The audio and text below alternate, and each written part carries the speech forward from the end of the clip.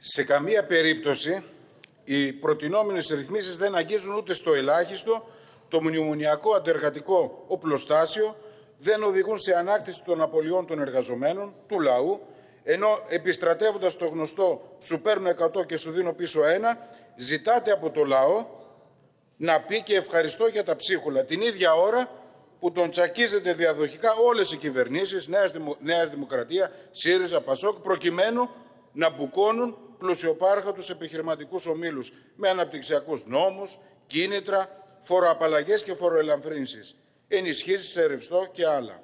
Στόχος, η καλλιέργεια κλίματος ανοχής, υπομονής, ώστε να θεωρηθούν περασμένες, ξεχασμένες οι τεράστιες απώλειες του λαού στα χρόνια της κρίσης, αλλά κυρίως για να περάσουν χωρίς αντιδράσεις τα επόμενα αντιλαϊκά μέτρα που έχει ανάγκη το κεφάλαιο σε συνθήκες φυσικά όξυνσης του καπιταλιστικού ανταγωνισμού. Με άθικτη όλη την αντιλαϊκή φορολιστία που έχετε θεσμοθετήσει εναλλάξει. Νέα Δημοκρατία πριν, μετά ο ΣΥΡΙΖΑ, το ΠΑΣΟΚ, με τις αλλεπάλληλες μειώσεις του αφορολόγητου, τις αυξήσεις του ΦΠΑ, την απογείωση των άμεσων και έμεσων φόρων που πληρώνει ο λαός, με ενισχυμένη και συνεχιζόμενη την επίθεση σε μισθούς, συντάξεις, με το λαό να πληρώνει όλο και περισσότερο για την υγεία, την πρόνοια, το φάρμακο και άλλα, παρουσιάζεται ως ανάσα και ως θετικά μέτρα το γεγονός ότι τα χρεωμένα εργατικά λαϊκά νοικοκυριά διευκολύνονται, προκειμένου να καταβάλουν το μεγαλύτερο δυνατό μέρος των αντιλαϊκών χαρατσών που τους έχουν επιβληθεί, με τον εκβιασμό των κατασχέσεων και των πληστηριασμών να τους περιμένει στη γωνία. Θυμίζουμε πως η φορολιστία που διωγγώθηκε τα προηγούμενα χρόνια στο όνομα των δημοσιονομικών στόχων και των ματωμένων πλεονασμάτων εφαρμόστηκε παρέγκλητα από την προηγούμενη κυβέρνηση της Νέας Δημοκρατίας και φυσικά συνέχισε και εμπλουτίστηκε και εμπλούτησε η κυβέρνηση ΣΥΡΙΖΑ ματώνοντας όλα αυτά τα χρόνια τους εργαζόμενους, τους αυτοαποσχολούμενους, τη μικρομεσαία αγροτιά, τους συνταξιούχους, προκειμένου να σωθούν οι τράπεζες, οι βιομήχανοι, οι μεγαλέποροι και ούτω καθεξής. Η Νέα Δημοκρατία δεν ήταν που πρωτοστάτησε σε αυτές τις πολιτικές, όπως για παράδειγμα η πλήρης άρση του αφορολόγητου για τους αυτοποσχολούμενους και η φορολόγησή τους από το πρώτο ευρώ, το τέλος επιτιδεύματος, η προκαταβολή φόρου στο 100% και άλλα, ο έμφυα και άλλα. Αυτές οι πολιτικές οδήγησαν σε μεγάλο βαθμό χιλιάδες επαγγελματίες και εργαζόμενους να χρωστούν παντού, στην εφορία, στον ΕΦΚΑ, στις τράπεζες και αλλού. Και συνεπώς, η Νέα Δημοκρατία δεν είναι αθώα του αίματος και ακριβώς αυτές τις πολιτικές συνεχίζονται και σήμερα σε πλήρη ισχύ προκειμένου να πρημοδοτήσετε τη στήριξη των μεγάλων καπιταλιστικών επιχειρήσεων για τις οποίες ετοιμάζεται και νέες φοροαπαλλαγές και ενισχύσεις όπως είναι πλέον φως φανάρι και από τις προγραμματικές εξαγγελίες. Γι' αυτό και οι περιορισμένες βελτιώσεις που προωθούνται στο πλαίσιο των 120 δόσεων αποτελούν ρυθμίσεις κοροϊδία που τις εμφανίζεται ως ελάφρυνση κυρίως για να νομιμοποιήσετε άδικους αντιλαϊκούς φόρους και χρέη στη συνείδηση των εργαζομένων, των αυτοαποσχολούμενων, των αγροτών και άλλων. Ταυτόχρονα, όπως και οι ρυθμίσεις της προηγούμενης κυβέρνησης του ΣΥΡΙΖΑ, επιδιώκεται να διευκολυνθεί η αποπληρωμή όλων αυτών των χρεών μέχρι και το τελευταίο ευρώ, γνωρίζοντας ότι η πλειοψηφία δεν έχει. Δεν μπορεί να ανταποκριθεί σε παλές και νέες υποχρεώσεις. Έτσι, όχι μόνο δεν χαρίζεται ούτε ένα ευρώ, αντίθετα συνεχίζεται την φοροαφέμαξη. Και βέβαια για όσους δεν τα καταφέρουν να ανταπεξέλθουν στις αλλεπάλληλες ρυθμίσεις είτε για την εφορία, είτε για τον ΕΦΚΑ, στις τράπεζες, στη ΔΕΗ, περιμένουν στη γωνία οι δεσμεύσεις λογαριασμών, οι κατασχέσεις, οι ηλεκτρονικοί πληστηριασμοί.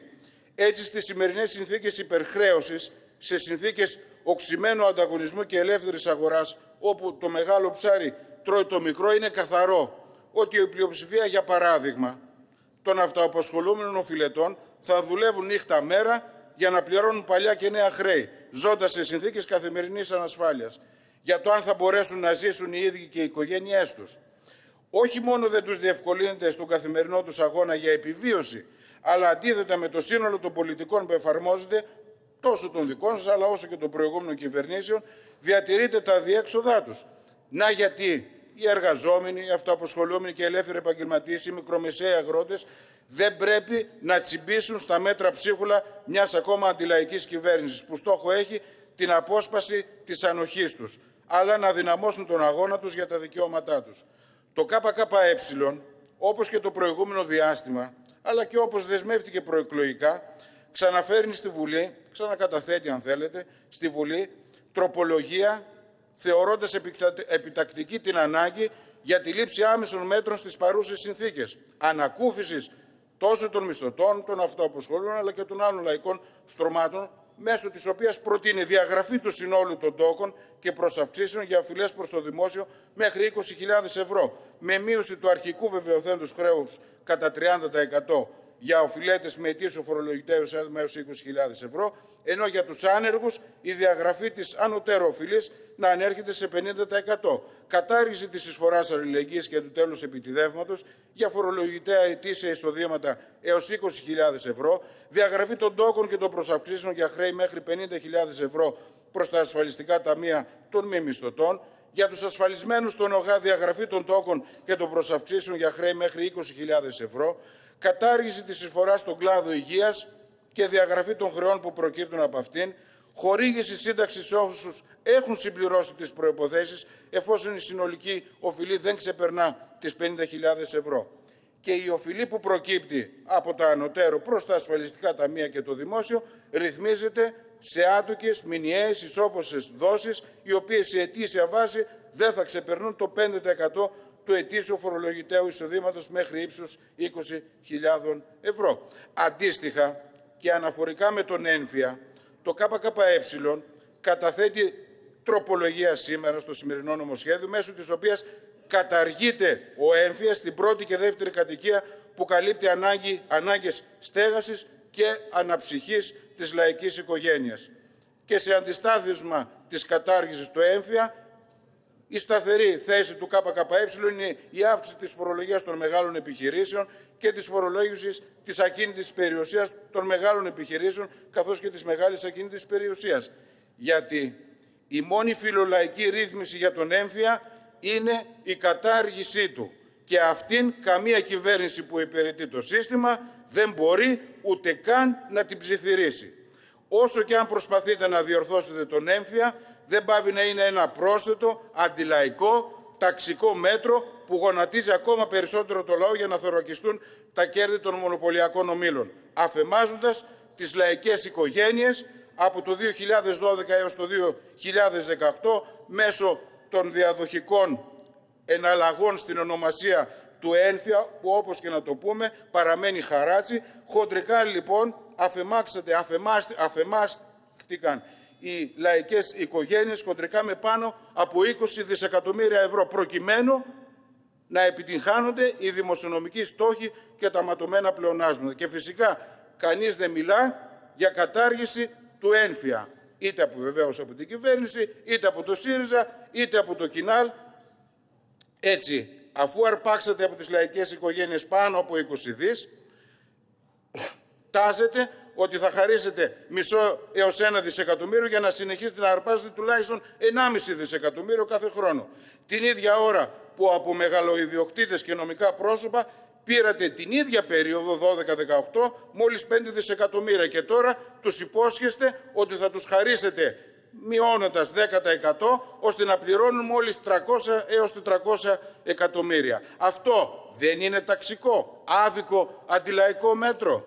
Γιατί η μεγαλύτερη, γιατί η μεγαλύτερη αδικία στον έμφυα δεν διορθώνεται. Είναι ο λαός να πληρώνει ενίκιο στο σπίτι που απέκτησε με κόπους και θυσίες στο αγροτεμάχιο που καλλιεργεί για να ε, ζήσει. Και αν κάτι επιβεβαιώνεται, μέσω και των ρυθμίσεων του νομοσχεδίου, είναι πως καμία ανάσα για τους εργαζόμενους και το, και το λαό δεν υπήρξε, δεν υπάρχει και δεν μπορεί να υπάρξει με την απαρέγκλητη συνέχιση της αντιλαϊκής πολιτικής που υπηρετούν στόχο-προσιλωμένα τόσο η Νέα Δημοκρατία, ο ΣΥΡΙΖΑ πριν, αλλά και τα άλλα αστικά κόμματα. Μία πολιτική που τσακίζει όλο ένα και περισσότερο το εισόδημα και τα δικαιώματα του λαού για να στηρίξει τα κέρδη και την ανταγωνιστικότητα των επιχειρηματικών ομίλων.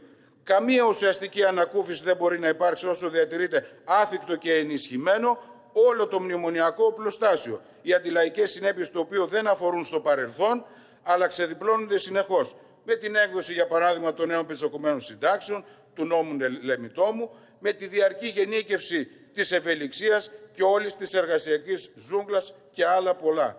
Πραγματική ανακούφιση οι εργαζόμενοι και ο λαός μπορούν να πετύχουν μόνο μέσα από τον μαζικό και οργανωμένο αγώνα απέναντι στον πραγματικό αντίπαλο, στο κεφάλαιο και την πολιτική αυτών που το υπηρετούν. Απάντηση και εμπόδια στην αντιλαϊκή επίδεση διαρκείας, υπεράσπιση των εργατικών λαϊκών δικαιωμάτων και κατακτήσεων νέων, μπορεί να φέρει μόνο η πάλι των εργαζομένων και του λαού για την ανάκτηση των τεράστιων απολειών τους, για την ικανοποίηση των σύγχρονων αναγκών τους, για τη συγκέντρωση δυνάμεων ώστε ο λαός να ανοίξει, να ανοίξει το δρόμο που ο λαός θα γίνει αφέντης του πλούτου που παράγει.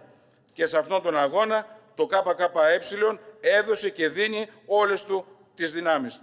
Τελειώντας κύριε Πρόεδρε, θα αναφερθώ εντάχει και στην τρίτη τροπολογία που κατέθεσε το, η κοινοβουλευτική ομάδα του ΚΚΕ και αφορά τη χορήγηση του επιδόματος επικίνδυνης και ανθυγιεινή εργασίας στους εργαζόμενους της ανώνυμης εταιρείας Ελληνικά Αμυντικά Συστήματα. Αφού πέρα από μια στοιχειώδη οικονομική στήριξη της διαρκούς προσπάθειας των εργαζομένων αυτών να ανταποκριθούν στις ιδιαίτερες δυσχέρειες του, αντι... του αντικειμένου της εργασίας τους, αποτελεί και μια έμπρακτη αναγνώριση της σημασίας των υπηρεσιών που παρέχουν στην εθνική άμυνα και ασφάλεια. Συνιστά παράλληλα και μια υποχρέωση της πολιτείας να διασφαλίσει την καταβολή της συγκεκριμένης παροχής σε όλες τις κατηγορίες εκείνες των εργαζομένων που παρέχουν υπηρεσίες οι οποίες δικαιολογούν την καταβολή αυτού του επιδόματος. Τέλος, ψηφίζουμε παρόν, όπως ε, είπαμε και στην, τοποθετηθήκαμε και στην Επιτροπή στο συγκεκριμένο νομοσχέδιο. Ευχαριστώ.